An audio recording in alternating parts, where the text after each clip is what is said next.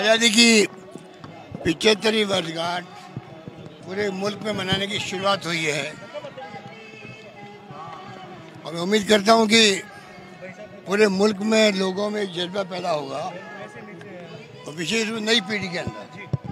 किस प्रकार से आज ही के दिन महात्मा गांधी ने 1930 के अंदर जो दांडी यात्रा शुरू की थी, वो अंग्रेज़ों के साम्राज्यवाद के खिलाफ में बिल्कुल बजाया था, उसमें वो कामयाब हुए।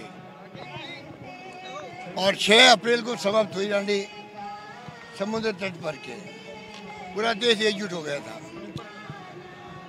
अब जो अमृत महोत्सव मनाने की जो शुरुआत हुई है, राजस्थान के अंदर भी फ्रीडम फाइटर्स एक एक से बढ़ एक थे। हर संभाग में, हर ज़िले के अंदर। चाहे श्री राजस्थान राजस्थान जैना व्यास हो मंगलर वर्मा हो हीराज शास्त्री हो बंधु हो, रामनाथ चौधरी हो अभिनरी हो अभिनरी हो, कोटा के अंदर, लाल बहादुर जी हो, भरतपुर के अंदर, कोई कमी नहीं रही है। सैकड़ों नाम होंगे जहाँ राजस्थान के लोगों ने उस जमाने के अंदर जब अंग्रेज़ों से लोहा लिया जा रहा था संबंधी प्रथाएँ थी, उस वक्त में बढ़ चढ़ करके जो हिस्सा लिया। वो इतिहास के स्वर्णिम अक्षर में लिखा गया है।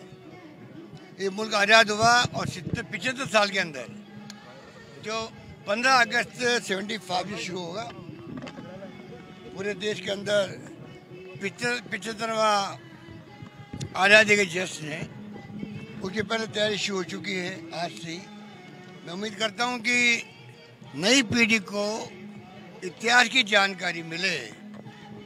ये भी इसमें बहुत बड़ी थीम होनी चाहिए क्योंकि आने वाली पीढ़ियाँ भी याद रख सके किस प्रकार हमारे पूर्वजों ने त्याग किए, बलिदान किए, जेलों में बंद रहे, लाठियाँ खाई, गोलियाँ खाई अंग्रेज़ों की, फांसी के फंदे में चढ़े, इतिहास नई पीढ़ी सीखेगी तो इतिहास बनाने, काबिल बनेगी देश के लिए।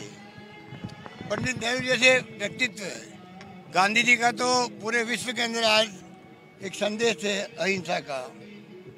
पूरा विश्व दो अक्टूबर को मनाता है।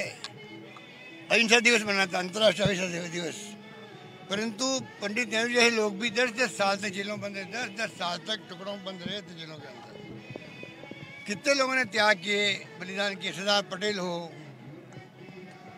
मौलाना अबू कलाम आज़ाद हो अंबेडकर साहब ने बनाया संविधान।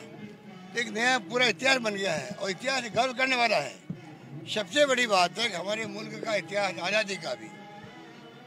और आज़ादी के बाद में पिछले साल की उपलब्धि जो है, जब सुई नहीं बनती थी, शिक्षा, स्वास्थ्य, पानी, बिजली, सड़कें कुछ नहीं था देश के अंदर। सुई बाहर से आती थी, आज यहाँ सब कुछ है, विज्ञान में, तकनीकी के अंदर, पानी, बिजली, शिक्षा, स्वास्थ्य, सड़कें सब कुछ देख रहे हैं, आधुनिक भारत दिख रहा है। वो पिछले साल के दिन है। ये गर्व करने वाली बातें हैं। मैं उम्मीद करता हूँ कि नई पीढ़ी आगे बढ़ कर के इसमें हिस्सा लेगी।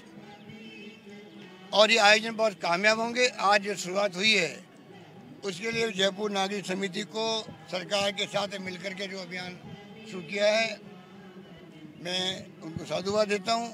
उम्मीद करता हूँ आने वाले वक्त में और आपको प्रोग्राम देते रहेंगे। मेरी बहुत शुभकामनाएँ हैं।